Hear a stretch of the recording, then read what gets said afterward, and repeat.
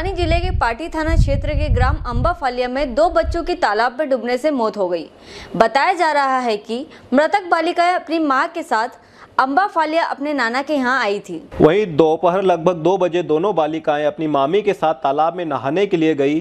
जहाँ दोनों बालिकाएँ गहरे पानी में चले जाने से चिल्लाने लगी तो दोनों मामियों ने उन्हें बचाने के लिए दौड़ लगाई, लेकिन दोनों बालिकाएँ गहरे पानी में चली गई, जहाँ उनकी मौत हो गई। पुलिस मौके पर पहुँची, मर्ग कायम कर मामला जाँच में लिया। बरवानी से अतुल कुमावत की रिपोर्ट। राजगढ़ ज़िले के